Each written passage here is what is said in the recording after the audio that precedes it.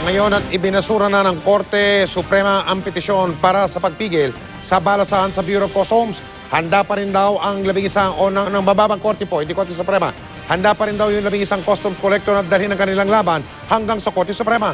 Sa kabilang dako naman, si Commissioner Rufy Biason ay nagbabala doon sa mga magpapatigas at yung mga hindi papasok o magre-report sa bago nilang assignment.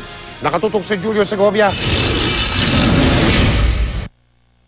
Sa desisyon ng Manila RTC Branch 17, tinapos nito ang Temporary Restraining Order o TRO sa reassignment ng 27 customs collectors sa Customs Policy Research Office o CPRO na nasa ilalim ng Department of Finance. Hindi kumbinsido ang korte sa argumento ng mga nagpetisyong kolektor na nasira di umanong reputasyon nila sa ipinatupad na reassignment.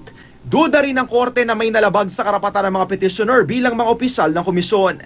So ngayon na nag-decide naman ng court no, na hindi sila bigyan ng injunction, then I hope that they will also uphold the rule of law and um, uh, follow the order that was issued.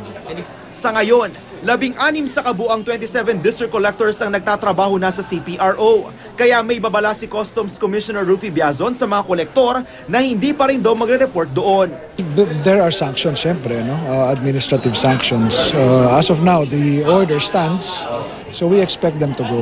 Nasa ibang bansa ang abogado ng mga pumalag na kolektor na si Attorney Ramon Esguera.